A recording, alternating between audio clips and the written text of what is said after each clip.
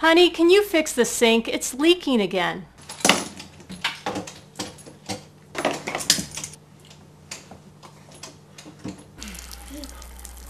We might need to call Schmolck.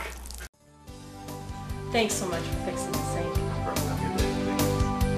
Call Schmolck Mechanical. They have friendly, knowledgeable technicians to take care of your plumbing and heating needs. Located on Jarvis Street behind the post office, Schmolck Mechanical Contractors.